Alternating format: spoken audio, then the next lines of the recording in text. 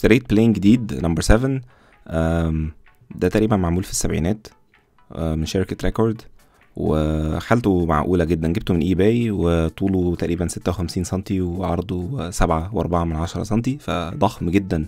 حتى بالمقارنة رقم أربعة اللي كان محطوط جنبه. بدأت أبص على ال plane وأشوف حالته آه، ال cap شكلها كويس. ال ال هو عموما شكله كويس بس ال- ال- ال knob وال tote محتاجين يتعملوا finishing تاني لأنه آه، مقشرين خالص. اللون الأزرق ده كمان محتاج يتغير مش عاجبني وفيه شوية صدى فمحتاج نشيله. بعدين بدأت أفك ال frog وأشوف إذا كان فيها أي عوجة أو أي تانية أو أي حاجة أو مش بايتة كويس على أرضية ال plane آه شكلها كان كويس في العموم آه وبايتة كويس حظي كان كويس أوي أنا جايب ده من eBay زي ما بقول لكم ف الحاجات ساعات كتير الحاجات دي مبتبقاش مضمونة خصوصا إنه قديم. آه إنما حظي الحمد لله كان كويس. آه بعدين بصيت على كل المسامير والحاجات دي حالتها كوي... كلها كويسة؟ خصوصا مسامير الظبط أو ال adjustment lever بتبقى ورا اللي بتظبط زاوية ال- السلاح. نضفته بالفرشة. وبعدين بصيت على الإيد اللي ورا لقيت الإيد اللي ورا آه، مش متثبتة كويس لسبب ما فمحتاجة تتظبط دي. بعدين الخ- الخشب بتاعها معمول له ستين لون أحمر. فكان مضايقني جدا. كنت عايز أشيله وخصوصا إن هو مقشر وكده ف وهو الخشب اللي قداماني والوراني شكلهم مش زي بعض وحد مغيرها ف على الأقل لو رجعتها لون الخشب الطبيعي هتبقى شكلها أجمل. عموما هو كان فيه صدى خفيف من ناحيتين وكده لكن مفيش حاجة تمنع إنه يشتغل كويس قوي يعني. في الغالب البلين ده هيقعد 100 سنة كمان يشتغل كويس. بدات ابص على ال- الأرضية أو ال sole بتاع ال plane أشوف إذا كان straight ولا في أي أوسة أو عوجة أو فراغ في النص أنا ممكن أصلحه لكن ما كانش فيه أي مشكلة خالص. حتى شفته بزاوية كده عشان أشوف إذا كان في twist أو لاوية آه، في طول ال plane خصوصا إنه ال- ال- القعدة بتاعته طويلة جدا. فأي أوسة بسيطة هتبان في الطول ده كله. بعدين بدأت أبص على ال- السلاح بتاعه. مهم جدا بقى في ال hand tools ان يكون السلاح very very sharp معمول له آه، سن آه، بدرجة عالية جدا بالجودة يعني. فهو طبعا كان معمول, له سن وحش جدا معمول بالإيد وفي اتنين bevels كده و... وكان حتى ال- السلاح نفسه آه، زاويته مش 90 درجة بالظبط على طول ال- السلاح أو ال blade. ف حتى زي ما أنت شايف هتلاقي في فراغ على إيدي على اليمين الصورة الفراغ ده لازم يتشال. لازم ال- ال- السلاح يكون 90 درجة بالظبط ويكون درجة السن عالية جدا لدرجة إنك تقدر تحلق شعر إيدك بيها. ف بدأت أركبه وعملت test للسلاح ال- السن اللي موجود. عايز أوريكم بس شكل أدائه قبل ما أظبطه وأوريكم الفرق يعني. فقبل ما أظبطه أولا المقاومة عالية أوي وأنا بشتغل. آه، ده معناه إن هو مش مسنون كويس. وكل النشارة اللي بتطلع من الخشب بتطلع مفرومة كده ال fibers متقطعة.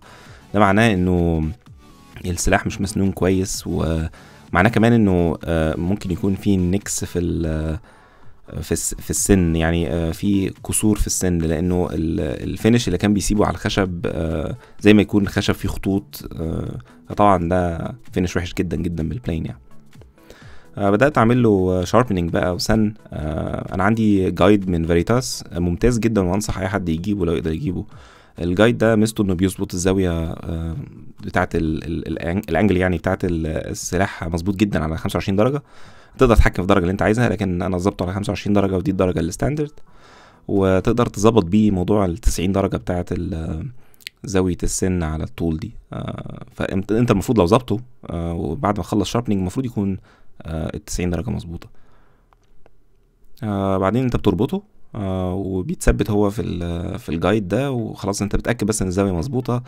وبعدين بتبتدي تعمل sharpening بتشيل الجزء اللي بيوريك الزاوية ده.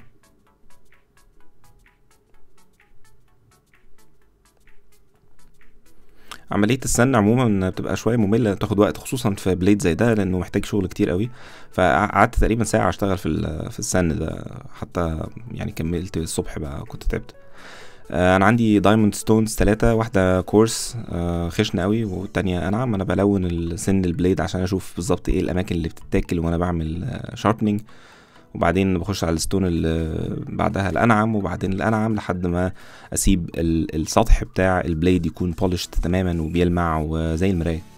بعد كده شفت عملت check عشان أتأكد إنه بقى 90 درجة تماما. آه، بقى 90 درجة تماما ومفيش أي مشاكل.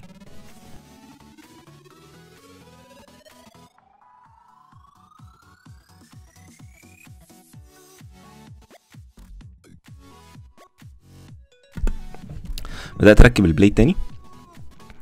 آه، ظبطة ال blade مع ال cap iron المفروض يكون في تقريبا من 2 ل 3 مللي فرق فركبتهم وظبطت الفرق ده واتاكدت إن هي آه، موازية تماما للسن.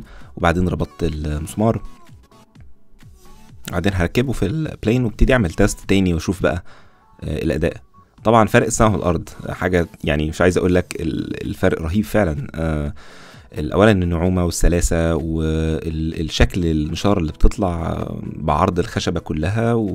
وناعمة وبتلمع ورقيقة جدا جدا جدا آه، الحاجة التانية إنه الخشب نفسه بعد ال planing بيطلع سطحه ناعم وبيلمع مش محتاج أي صنفرة يعني جاهز على ال finish على طول فزي ما أنت شايف كده بيل- لمعة رهيبة فده معناه إنه ال sharpening كان مظبوط وممتاز. فبدأت بقى أشتغل على الاجزاء الخارجيه اللي شكلها كانش عاجبني.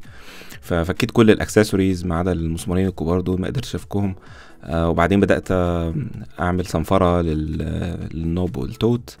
آه واستخدمت كمان ال card scraper أو القشطة. أنا مش عارف اسمها بالعربي قوي بس أعتقد إنها كده يعني. بدأت أعمل لها أقشط كل ال- ال finish اللي كان موجود على على الخشب ده. لأنه كان شكله وحش ومتاكل ومتقشر وكده. فزي ما أنت شايف أنا مثبتها وبدأت أعمل scraping لكل ال finish من كل الزوايا قدر المستطاع. وبعد كده عملت صنفرة ناعمة آه، لحد ما زي ما أنت شايف إيد شكلها اتغير خالص. إيد ال plane بقى ما عادش فيه الأحمر ده خالص وشكلها بقى جميل جدا. أنا مش عارف ليه كانوا عاملين stain الحقيقة. بعد ما عملت آه، spray polyurethane finish آه، تقريبا أخدت أربع طبقات. بقى شكلها ممتاز وعملت صنفرة وحطيت عليها في الآخر furniture wax فما عادش في أي مشاكل خالص بقى شكلها جميل جدا. بعد كده عملت سبراي أسود لل plane للأسف ال shot دي ما اتسجلتش. فتخيل بقى إن أنا يعني حطيت ال plane ولزقت جنابه كده وبعدين عمل رشيته كله أسود. وده شكله بعد ما اترش وبدأت أفك اللزق اللي أنا كنت حاطه على الأماكن اللي أنا مش عايز أرشها. وعملت لها صنفرة لكل الأماكن اللي ممكن يكون جه عليها شوية سبراي ده سبراي دوكو أسود آه، اللي موجود في المحلات عادي. عملت صنفرة عشان أشيل أي بواقي من السبراي إذا كان جه عليها. وبعدين ركبته وقفلته وده شكله بعد ما خلص.